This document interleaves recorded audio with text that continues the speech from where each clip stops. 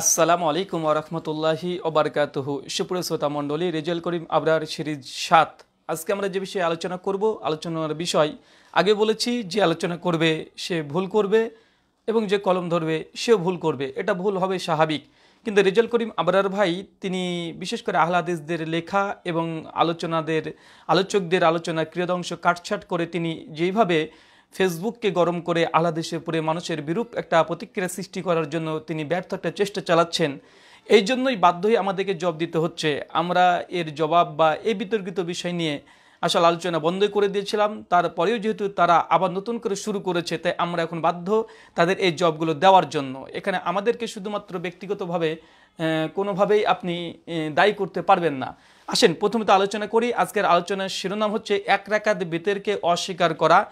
এবং যারা এক রাকাত বিতের পরে এদিকে দাজ্জাল কাজদা মিথ্যু করে বাটপার প্রতারক এই নানা ভাষায় গালি গালাজ করা, এই বিষয়টা নিয়ে আজকে আলোচনা হবে। আসেন, খুব সুন্দর সুন্দর আজকে আপনারা কথা শ্রবণ করতে পারবেন ইনশাআল্লাহ।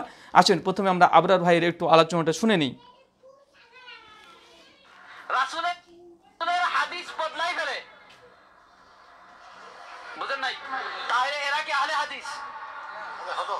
আপনারা তো ভাই পড়েন না।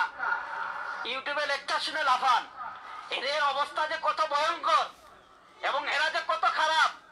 পৃথিবীর ইতিহাসে কোন বাতিল কখনো সাহস করেনি। রাসূলের হাদিস বদলাই দিতে। হ্যাঁ ওইটা করেছে যে তারা হাদিস জাল করছে।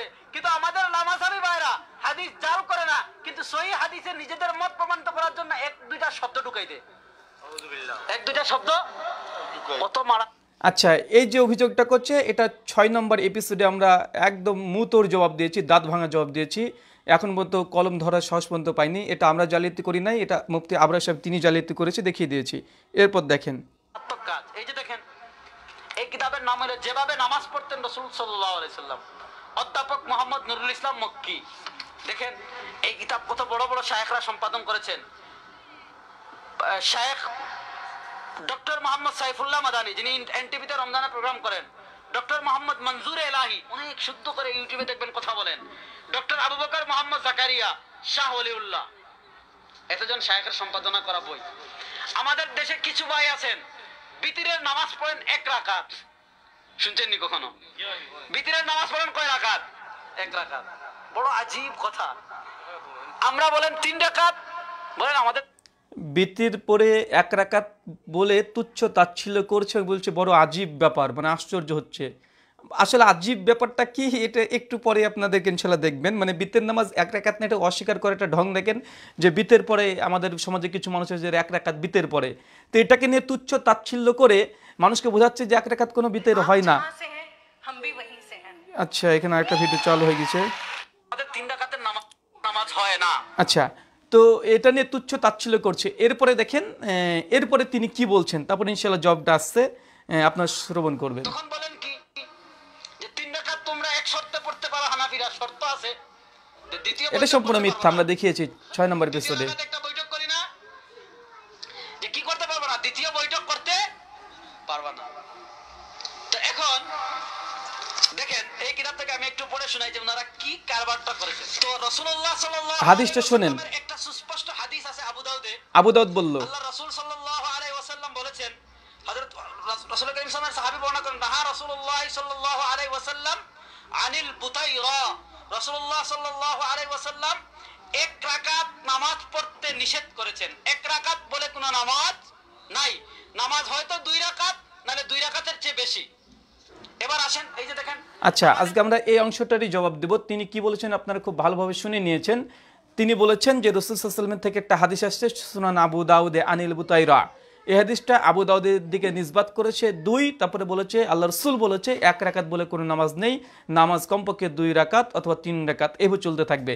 মুফতি আবরারকে আমি চ্যালেঞ্জ করছি যে আনিল বুতয়রা এই হাদিসটা যে আপনি আবু দাউদ দিকে নিসবাত করলেন চ্যালেঞ্জ করলাম যে আপনি এই হাদিসটা শুনান আবু দাউদ থেকে দেখাবেন। আবু দাউদের কোথায় এই হাদিসটা আছে? সম্পূর্ণ মিথ্যা কথা, মিথ্যাচার আবু দাউদ দূরের কথা, বুখারি, মুসলিম, আবু দাউদ, তিরমিজি, ইবনে মাজা নাসাই, এই ছয়টা মশহুর গ্রন্থের মধ্যে কোনো গ্রন্থে আমাদের জানা মতে এখন পর্যন্ত এই হাদিস নাই। এটা সম্পূর্ণ মিথ্যাচার করেছে, এই হাদিস আবু দাউদে নেই। সুতরাং আবুদাউদের নামে মিথ্যাচার মানুষকে বোঝাচ্ছে যে আবুদাউদে এই হাদিস আছে। আসলে আমরা যেখানে হাদিসটা পেয়েছি, দেখলাম হাফিজ ইবন আব্দুল বার রহিমাহুল্লাহ আল মুতাফা চারশো তেষট্টি হিজড়ি তিনি সুনান তিনি মোয়াত্তা মালিকের ব্যাখ্যা লিখেছে আর তামহিদ আর তামহিদের দ্বিতীয় খণ্ডে এই হাদিসটাকে নিয়ে আসা হয়েছে। কিন্তু তিনি চালিয়ে দিলেন কি? এটা নাকি আছে কোথায়? সুনান আবু দাউদে। অথচ মুয়াত্তা মালিকেও নয়, মুয়াত্তা মালিকের ব্যাখ্যা গ্রন্থ, ব্যাখ্যা গ্রন্থে হাদিসটা আছে। প্রথম মিথ্যাচার দেখেন, এরা নাকি মুজাফর বিন মহাসেন এবং আল হাদিস ওলামারা যদি কোনো ভুল একটা রেফারেন্স দেয়, তার জন্য ওরে দাজ্জাল, ওরে বাটপার, ওরে কাজ্জাব ওরে প্রতারক, ওরে মিথ্যুক, এই শব্দগুলো ব্যবহার করে। কিন্তু তিনি আজকে দেখেন, প্রত্যেকটা আলোচনায় তার মিথ্যা এবং ভুল রেফারেন্স ভুল তথ্য, প্রতারণা, অপপ্রচার আছেই। তার মধ্যে এটা আজকের অপপ্রচার যে কালকে দেখেছেন, আমি দেখেছি ছয় নম্বর এপিসোডে তিনি পড়ছেন হাকেমের এগারোশো উনচল্লিশ নম্বর হাদিসের ইবারত আর তাহাকে করতে বসেছে এগারোশো চল্লিশ নম্বর হাদিসের ইবারত। আজকে তিনি পড়ছেন মোয়াত্তার সারা গ্রন্থ থেকে আর তিনি বলছেন আবু দাদে নাকি হাদিসটা আছে। সম্পূর্ণ মিথ্যা কথা। পয়েন্ট নম্বর দুই, আনিল বুতয়রা এই শব্দ দিয়ে যে হাদিসটা এসেছে, তিনি হাদিসটা দিয়ে তিনি বোঝাতে চাইছেন যে আল্লাহ রসুল এক রাকাত ভিতর পড়তে নিষেধ করেছেন। ভাই, আপনারা আসলে এত দূর যান কেন? আপনারা খুব ভালোভাবে জানেন যে স্বয়ং মোহাম্মদ সাল্লাহ সাল্লাম তিনি এক রাকাত বেতরে নির্দেশ দিয়েছেন আল্লাহ নবী এক রাকাত বেতরে পড়েছেন। কোনো ব্যাখ্যা গ্রন্থ নয়, স্বয়ং সহিহুল বুখারি, হাদিস নামা নয়শো নব্বই নম্বর হাদিস আপনারা খুলে দেখে নেন যে কেউ। পরিষ্কার আল্লাহ রসুল তিনি এক রাকাত বেতের পড়ার নির্দেশ দিয়েছেন। এবং আল্লাহ রসুল যে আমল করেছেন এক রাকাত, এটা শোনান সহি বুখারি, হাদিস নয়শো পঁচানব্বইয়ের মধ্যে ডিটেলস বিস্তারিত আলোচনা করা আছে। ইমাম বুখারি অধ্যায় ক্যাম্প করেছে। এই ব্যাপারে ইমাম তিরমিজি অধ্যায় ক্যাম্প করেছে। কিন্তু আজকে দেখেন, বুখারি, সহি বুখারির মধ্যে স্পষ্ট হাদিস হচ্ছে আল্লাহ রসুল এবং একাধিক সাহাবি থেকে প্রমাণিত আছে যে তারা এক মানে তারা এক রাকাত বেতের পড়তেন।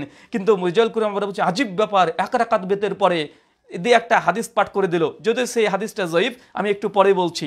তারপরেও দেখেন, চিন্তা করে দেখেন সেই বুখারিতে আল্লাহ রসুল নিজামল করেছে। আমল করতে বলেছে এক রাকাত বিতের। তারপরে এই আল্লাহ রসুলের আমলকে তারা তুচ্ছ তাচ্ছিল করছে। আল্লাহ রসুলদের আমল এবং আল্লাহ রসুলের আদেশ দুটোই আছে সে বুখারির মধ্যে। নয়শো নব্বই আছে আদেশ, নয়শো পঁচানব্বই আছে আল্লাহ রসুলের আমল। তারপরেও এক রাকাত বিতেরকে তারা তুচ্ছ তাচ্ছিল করে অস্বীকার করছে। আমি অবাক হয়ে যাই। আরেকটা দেখেন, আমার একটা বইও আছে। আপনি বইটা নিতে পারেন। আমার বইটার নাম হচ্ছে আল আহলে হাদিস হানাপি মাজাব ইকতেলাপ নিরাসান। মাসালা নাম্বার ছাব্বিশে, পৃষ্ঠা নাম্বার চুরাশিতে আমি এক রাকাত বেতেরে বেশ কিছু দলিল নিয়ে এসেছি। আপনারা দলিল আমি এখানে দিতে আসি নাই। এক রাকাত বেতে এটা সেই বুখারি থেকে প্রমাণিত। জাস্ট একটা হাদিস আপনাদের সামনে শুধুমাত্র পাঠ করব। হাদিসটা আছে সুনান আবি দাউদ, প্রথম খণ্ড দুইশো আট পৃষ্ঠা দেবন প্রকাশনী, মূল নুস্খা যেটা আছে, হাদিস নম্বর চোদ্দোশো বাইশ। এখানে একটা হাদিস বর্ণনা আছে, রসুল করিম সাল্লাহ সাল্লাম তিনি কি বলছেন দেখেন? তিনি বলছেন, বিতের প্রত্যেক মুসলিমের ওপরে হক বা অধিকার, অতএব যে চাই সে পাঁচ রাকাত বিতের আদায় করুক, যে চাই তিন রাকাত আদায় করুক, যে চাই এক রাকাত বিতের আদায় করুক। আল্লাহ রসুল বলেছে, বিতের প্রত্যেকের উপরে হক, যে চাইবে যার ইচ্ছা পাঁচ রাকাত পড়বে, যার ইচ্ছা তিন রাকাত পড়বে, যার ইচ্ছা এক রাকাত পড়বে। সহি সুনান আবু দাউদ, নাসাই বিভিন্ন গ্রন্থে হাদিসটা মজুদ আছে এবং সহি সূত্রে হাদিসটা মজুদ আছে। তারপরেও চিন্তা করে দেখেন, এই হাদিসকে বিশেষ করে ইমাম হাকিম, মুস্তাকাল হাকিমের তিনশো দুই পৃষ্ঠাতে তিনি হাসান সহি বলেছেন। এই হাদিসটাকে আরও অনেক মহাদিস ইমাম ইবনু হিব্বান আল ইহসান হাদিস নাম্বার দু হাজার চারশো তিনে তিনি হাদিসটা সনদকে সহি বলেছেন এবং অনেক মহাদিস আছেন যে হাদিসটাকে সহি বলেছেন। এই যে আল্লাহ রসুল বলছেন, পাঁচ টাকাত পরো ইচ্ছা হলে তিন টাকাত পরো অথবা এক টাকাত পরো কিন্তু এই মুক্তি আবরার সাহেব সাধারণ জনসাধারণ, মূর্খ জনসাধারণকে তিনি ধোকা দিয়ে বোঝাচ্ছে দেখেন, আমাদের সমাজে এক শ্রেণি মানুষ হচ্ছে এক রাকাত বেতের পরে। মানে এক রাকাত বেতেরকে অস্বীকার করা, তুচ্ছ তাচ্ছিল করা। অথচ আল্লাহ রসুল আদেশ করেছেন, আল্লাহ নিজের আমলও আছে, তার কলও আছে, তার ফেলও আছে। ভাই, বলুন তো এইসব ব্যক্তিদেরকে কি বলবেন? এরা নবী বিদ্বেষী বলবেন, রেজাল করিম আবরারের মানে ভাষা অনুযায়ী এরা নবী বিদ্বেষী নবীর আমলকে, নবীর আদেশকে তারা তুচ্ছ তাচ্ছিল্য করছে।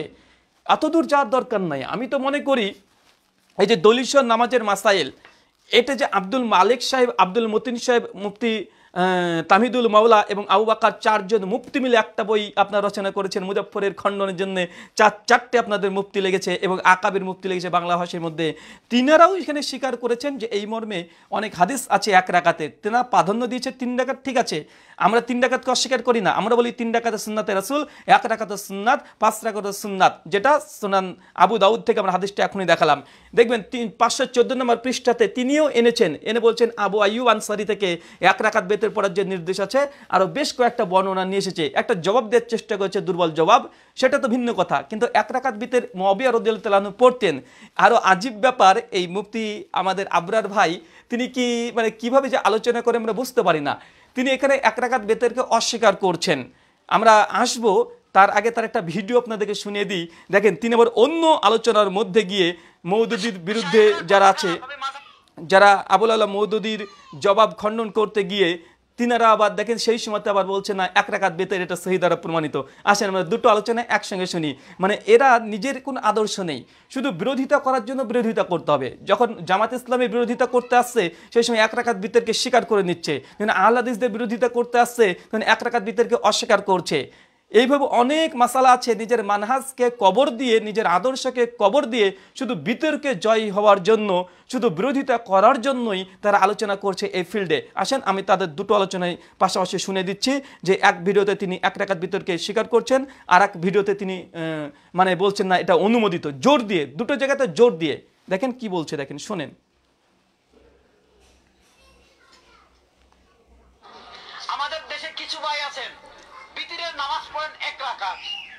শুনছেননি কখনো? বিতিরের নামাজ পড়েন কয় রাকাত? এক রাকাত। বড় আজীব কথা। হ্যাঁ আজিব। ইবনে আব্বাস রাদিয়াল্লাহু তাআলার কাছে এসে বলেছে ইবনে আব্বাস আপনি তো বিতিরের নামাজ তিন রাকাত পড়েন কিন্তু মুআবিয়া রাদিয়াল্লাহু তাআলা বিতিরের নামাজ এক রাকাত পড়েন। আরে বুখারীর হাদিস। বুখারীর হাদিস। ইবনে আব্বাস বলেন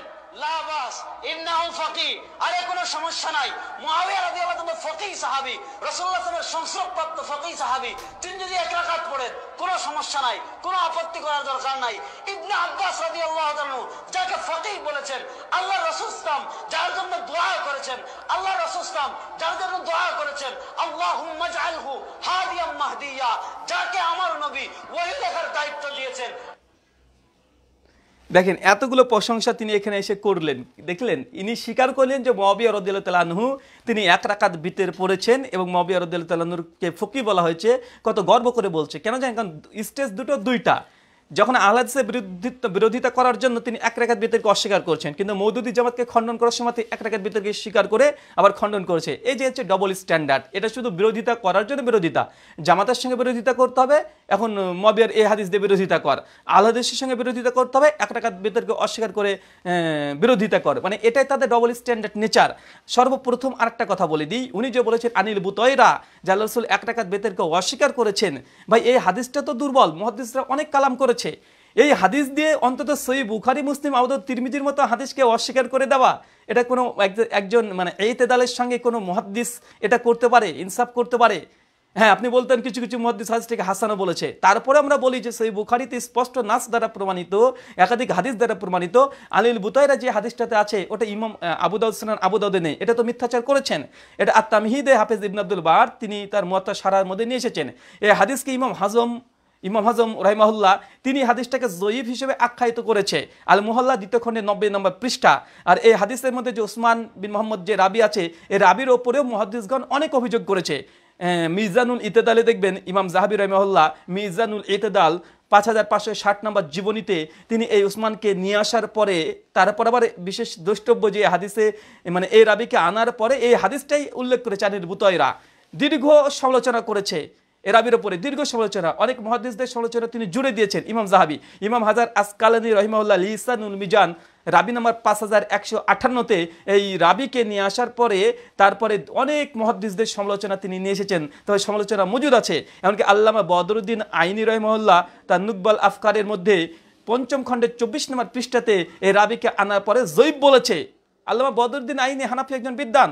আটশো পঞ্চান্নর দিকে মৃত্যুবরণ করে। তিনি এই রাবিকে নিয়ে আসার পরে তিনি তীব্র সমালোচনা করেছেন জৈব বলেছেন। অথচ মুফতি আবরার সাহেব আজকে আহ, আইনে হানাফিকে ছেড়ে দিয়ে তিনি নিজে আজকে মহাদ্দিস ভাব ধরেছে। আজীব ব্যাপার ডবল স্ট্যান্ডার্ড কেন রে ভাই? এরপর দেখেন আব্দুল হাক ইসবালি রহমাহুল্লাহ তিনিও এর হাদিস প্রসঙ্গ হচ্ছে এই উসমান যত হাদিস বর্ণনা করে তার অধিকাংশই এগুলো মিথ্যা এবং ভুল। আল ওয়াসিতিয়া দ্বিতীয় খণ্ডের পঞ্চাশ নম্বর পৃষ্ঠা। এইভাবে অনেকগুলো যারা দিতে পারি, সর্বোপরি এই হাদিসটা দুর্বল, এটা জয়ীব ইমাম হজম, তিনি বলেছেন। তারপরে আনিল বুতয়রা এই হাদিসটা মুয়াত্তা সারা থেকে নিয়ে এসে আবুদাউদের রেফারেন্স দেওয়া মিথ্যাচার। তারপরে সই বুখারি, মুসলিম আল্লাহ রসুল থেকে প্রমাণিত আছে, এই হাদিসের পুরে এই হাদিসটাকে দিয়ে রদ করা, এটা কোনো এইতেদাল সম্পূর্ণ কোনো ব্যক্তি এটা করতে পারে না। একটা অ্যান্টিভেনাম টিট ফর ট্যাট অবশেষে আপনাদেরকে দিয়ে যায় সেই tit for ট্যাটটা Sunan Tirmidhi Sara Allama justice তাকে উসমানি, তার দর্শ তিরমিজি, প্রথম খণ্ড, হাদিস নম্বর চারশো তিপ্পান্ন নম্বর হাদিসে সারা করতে গিয়ে কি লিখেছেন? আপনাদেরকে শুধুমাত্র একটা হাদিস আমি পরে শোনাবো। তার আগে দুটো আমি বলে দিই যা দার্সের তিরমিজি দ্বিতীয় খণ্ড দুশো পঁয়ত্রিশ নম্বর পৃষ্ঠা আল কাউসার থেকে যেটা প্রকাশিত হয়েছে দ্বিতীয় কলামের মধ্যে স্পষ্টভাবে জাস্টিস তাক উসমানী তিনি কী লিখছেন? আমি আপনাকে বলে দিই কি লিখছেন দেখেন। বেতের নামাজে রাকাত সংখ্যা সম্পর্কে মত পার্থক্য রয়েছে। তিনি ইমামের মতে বেতের এক রাকাত থেকে নিয়ে সাত রাকাত পর্যন্ত জায়েজ, এর চেয়ে বেশি জায়েজ নয়। চিন্তা করে দেখেন, এখানে স্পষ্টভাবে জাস্টিস তাক উসমানী তিনি বলে দিচ্ছেন একটা ইমাম নয়, তিন ইমামের মতে এক রাকাত থেকে সাত রাকাত পর্যন্ত বিতের পরা জায়েজ। আর আবরার সাহেব, ইনি কোথাকার যে কে? কোন গ্রহ থেকে এসেছে আমি বুঝলাম না যে উনি আবার বলছেন এক রাকাত বিতের পরে আজীব ব্যাপার। আবার অন্য ভিডিওতে স্বীকার করে নিয়েছে যে এক রাকাত বিতের পড়া অনুমোদিত। আর জাস্টিস তাক উসমানী তার দাদা উস্তাদ বলছে, একজন ইমাম না, তিন ইমামের মতে, তিন, তিনটা ইমামের মতে এক রাকাত বিতের পড়া এটা জায়েজ। তাই মুফতি আবরার সাহেব, এইভাবে মিথ্যাচার করেন না। বিরোধিতার জন্য বিরোধিতা না। একটা ইলমি আলোচনা করেন একটা ইলমি আলোচনা করেন, ঠিক আছে, অস্বীকার করছেন। আজীব ব্যাপার, এই যে তিন ইমাম তারা ফতোয়া দিয়ে গেছে, এক রাকাত বেতের যেতে জাস্টিস তাক উসমানি বলে গেছে, আপনার দাদা উস্তাদ, আর আপনি আজীব হয়ে গেলেন। একটু পড়াশোনা করেন, একটু পড়াশোনা করেন। শুধুমাত্র বিরোধিতা করার জন্য বিরোধিতা করিয়েন না, মুসলিম উম্মাকে গোমরা ভ্রষ্ট করিয়েন না। এক রাকাত বেতের তো একাধিক দলিল সে বুখারি, মুসলিম আউদাদ তিরমিতে মজুদ আছে। আর এখানে সবচেয়ে বড় কথা জাস্টিস তাকুসমাই তিনিও বলছেন যে তিন ইমামের মতে এক রাকাত থেকে সাত রাকাত পর্যন্ত বিতের এটা অনুমোদিত, এটা জায়েজ, এর চেয়ে বেশি জায়েজ নয়। আজীব ব্যাপার। আরেকটা হাদিস আপনাদেরকে দেখাবো, হাদিসটা আপনারা দেখবেন। আচ্ছা এই হাদিসটা আমরা দেখাবো আরেকটা হাদিস এক মিনিট। আর একটা হাদিস আপনাদেরকে আমি দেখাবো যে হাদিসটা থেকে কয়েকটা বিষয় আপনাদেরকে নোট করতে হবে এবং আপনাদেরকে বুঝতে হবে যে ইমাম তিরমিজি রহমাহুল্লার একটা হাদিস প্রসঙ্গে আনতে গিয়ে তিনি কি আলোচনা করছেন। সর্বোপরি এই কথা যে আমরা আলে হাদিস যারা আছি, তারা আমরা প্রত্যেকেই বলি যে বিতের নামাজ এক রাকাত, তিন রাকাত, পাঁচ রাকাত সবগুলো ওয়াজিব। সবগুলো সরি সবগুলো আপনি জায়েজ, এটা সুন্নাত, এটা আপনি পড়তে পারবেন, কোনো সমস্যা নেই। কিন্তু আমাদের এই যে ভাইজান, তিনি এমনভাবে কথা বলছেন যে এক রাকাত নাকি বেতেরই নেই। একটা হাদিস আমি খুঁজছি শ্রোতা মণ্ডলীর কাছ থেকে, একটু আমি সময় চেয়ে নিচ্ছি, আমি হাদিসটা, পৃষ্ঠা নাম্বারটা ভুলে গেছি। একটা হাদিস আপনাদেরকে খুলে শুধুমাত্র দেখাবো। সেই হাদিসটা আচ্ছা এক মিনিট, একটু আমি সময়টা চেয়ে নিচ্ছি আপনার যে ক্ষমা চাইছি, একটু হাদি- হাদিসটা আমি জাস্ট খুঁজবো, একটা হাদিস। এক মিনিট মোবাইল থেকে হাদিস নাম্বারটাকে সাজ দিয়ে দেখে নিই। সুনান তিরমিজির একটা হাদিস আছে সেই হাদিসটা আপনাদেরকে আমি শুধুমাত্র শোনাবো। তার জন্য আপনাদের কাছ থেকে একটু আমি সময়টা নিয়ে নিচ্ছি। আচ্ছা জি, এক মিনিট। তিরমিজি চারশো তেপান্ন নম্বর হাদিস। সুনান তিরমিজি চারশো তেপান্ন নম্বর হাদিসটা আপনাদের সামনে আমি একটু খুলে দেখাচ্ছি। আচ্ছা এখানে দেখাচ্ছি, দেখেন, আমি জাস্টিস তাক উসমানির অনুবাদটা দেখাচ্ছি, শুধু দেখে নেন। তারপরে অ্যান্টিভেনাল জবটা আপনাদেরকে দিয়ে দিচ্ছি। সুনান তিরমিজি, দার্সে তিরমিজি, জাস্টিস তাক উসমানি, একটা হাদিস নিয়ে এসে চারশো তেপান্ন নম্বর, দেখেন। সহজ তর্জমা, পড়েন কি বলছে? হজরত আলী রদিয়াল আনহু থেকে বর্ণিত তিনি বলেন, ফরজ সালাতের মতো বিতের জরুরি নয়, কিন্তু রসুল সাল্লাহু আলী ওসাল্লাম সুন্নাত হিসাবে রেখে গেছেন। মানে বেতের নামাজ এটা সুন্নাত, যেটা আমরা বলি, হানাফিরা ওয়াজিব বলে, এটা আলাদা বিতর্ক। তারপর দেখেন, তিনি এরশাদ করেছেন, আল্লাহ হচ্ছেন বিতের, আল্লাহ হচ্ছেন বিতের, আল্লাহ হচ্ছে বিতের, শোনেন, আল্লাহ হচ্ছে বেতের বা বেজোর, তিনি বেজোর হওয়াকে পছন্দ করেছেন। সুতরাং হে কোরআনপন্থী, তোমরা বিতের আদায় করো। এটা সুনান তিরমিজি, চারশো তেপ্পান্ন নম্বর হাদিস, দ্বিতীয় খণ্ড, দুশো সাতাশ পৃষ্ঠা, দার্সে তিরমিজি থেকে আপনাদেরকে দেখালাম। এখান থেকে যেই বিষয়টা প্রমাণিত হচ্ছে যে জাস্টিস তাকুসমানি হাফিজাউল্লাহ তিরমিজি যে হাদিসটা নিয়ে এসেছে। তিরমিজি হাদিস, হাদিসটা আলবা নাসরুদ্দিন আলবানি সহি বলেছে, শেখ সোহেব আরনদ সহি বলেছে, আহমেদ শাকির সহি বলেছে, হাফেজ জুবার আলী জাহির রহমাল্লাহ সহি বলেছে অনেক মহাদিস হাদিসটাকে সহি বলেছে। এই হাদিসটা আরও আছে শুনুন আবু দাউদ, চোদ্দোশো ষোলো নম্বর হাদিস। ইবনু মাজা, হাদিস নম্বর এগারোশো সত্তর। মিশকাত, হাদিস নম্বর বারোশো ছেষট্টি। যে আল্লাহ রসুল তিনি বলছেন যে, বিশেষ করে যে আল্লাহ হচ্ছে বেজোর, আল্লাহ বেজোর পছন্দ করে, তোমরা বিতের আদায় করো। তো আল্লাহ হচ্ছে বেজের। তো ভাই, আল্লাহ কি তিন নাকি? আল্লাহ কি তিন? এই জন্য একটা ছোট্ট ঘটনা বলি। আল্লামা সানাউল্লাহ অমৃতসরী রহমুল্লাহ জীবনীতে আমি পড়েছিলাম। একদা হানাফিদের সঙ্গে এক খ্রিস্টান মুনাজিদদের বিতর্কর একটা আলোচনা হয়েছে, তৌহিদ এবং টিনিটি নিয়ে, ঈশ্বর এক না তিন। তো এই নিয়ে যখন বিতর্ক, একটা শোরগোল অবস্থা বিতর্কের দিনে ঠিক যথারীতি হানাফি আলেমরা স্টেজে চলে গেছে এবং খ্রিস্টান মিশনারি তারাও স্টেজে চলে গেছে, বসে পড়েছে। বসে পড়ার পরে সঙ্গে সঙ্গে খ্রিস্টান মিশনারি ঈশ্বর যে তিন, কোরআন, হাদিস থেকে ঘেটে ঘেটে তারা অপব্যাখ্যা করে দলিল দিতে শুরু করেছে। আর শেখ সানাল্লাহ অমৃতসর রহমল্লাহ, তিনি এমনিও দেবন্দীদের বিরোধিতায় অনেক বিতর্ক করেছেন, শিয়াদের বিরোধিতায় অনেক বিতর্ক করেছেন, কাদিয়ানিদের, খ্রিস্টানদের, হিন্দুদের সঙ্গে অনেক বিতর্ক করেছেন, সকলে আপনারা জানেন। তো কাজে সানাউল্লাহ অমৃতসর রহমল্লাহ, তিনি স্টেজে বসেছিলেন পাশেই, আর সঙ্গে সঙ্গে খ্রিস্টান মিশনারি এই হাদিসটা পাঠ করেছেন। পাঠ করে এই হানাফি যেই বিতর্কিক এসেছে তাকে জিজ্ঞাসা করছেন হানাফি শ্রোতাদেরকে যে আপনারা কত রাকাত বিতের পড়েন কত রাকাত?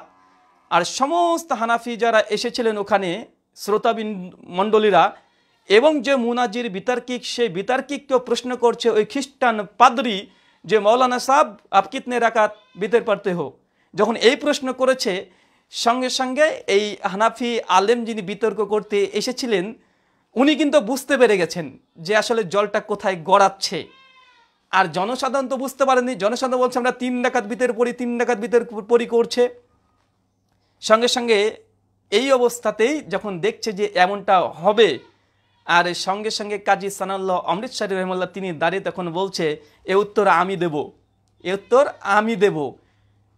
কেননা বেতের আমরা এক রাকাত পড়ি। ঠিক আছে? কেননা এই খ্রিস্টান পাদরি তিনি শোনান তিরমিজির চারশো তেপান্ন নম্বর হাদিসকে কোট করে তিনি বলছেন, আল্লাহ হচ্ছে বেতের, আল্লাহ বেতেরকে পছন্দ করে। হানাফিরা তিন ডাকাত বেতের পরে, অতএব ঈশ্বর তিন, পিতা, পুত্র, পবিত্র আত্মা, এটা প্রমাণিত। এইভাবে খ্রিস্টান মিশনারি, এইভাবে হানাফি মুকাল্লিদকে পরাজয় করার চেষ্টা করেছিল। সেই দিন কাজী সানুল্লাহ অমৃতসরী রহমাহুল্লাহ, সেই দিন তার আক্কেলি জবাব তিনি দিয়েছিলেন। তো আমি এখানে বলতে চাই, দেখেন, হাদিসে স্পষ্ট আল্লাহ রসুল বলেছেন যে আল্লাহ বেজোর, আল্লাহ বেজোরকে পছন্দ করে। তো বেজোর আল্লাহ সুবান তিনি এক, আহাদ, সকলে জানি কুলহু আল্লাহু আহাদ, বলো তিনি আল্লাহ এক এবং অদ্বিতীয় সুরা ইখলাস এক নম্বর এক। তো আমাদের মূল কথা হচ্ছে এত আমরা তাবিল করতে চাইছি না, এত ব্যাখ্যা, যৌক্তিক আলোচনা করতে চাইছি না। এখানে স্পষ্ট এক রাকাত হাদিস দ্বারা প্রমাণিত, আর আল্লাহ এক, আল্লাহ একই পছন্দ করে। এটা স্পষ্ট হাদিস দ্বারা প্রমাণিত।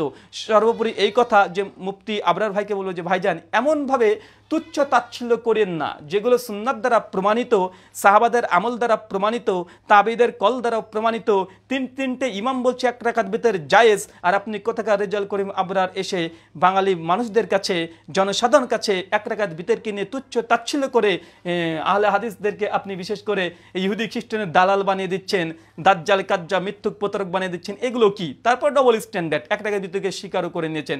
বিরোধিতা করার জন্য বিরোধিতা করিয়েন না। আল্লাহ সুবাহ তালা আপনাকে হেদায়তে কামেলে দান করুক। আল্লাহমা আমিন। এ দোয়া, এ দাওয়া রেখে আজকের মতো আলোচনা শেষ করছি। ওমা আলাইনা ইল্লাল বালাগ। আসসালামু আলাইকুম আ রহমতুল্লাহি ওয়াবারাকাতুহু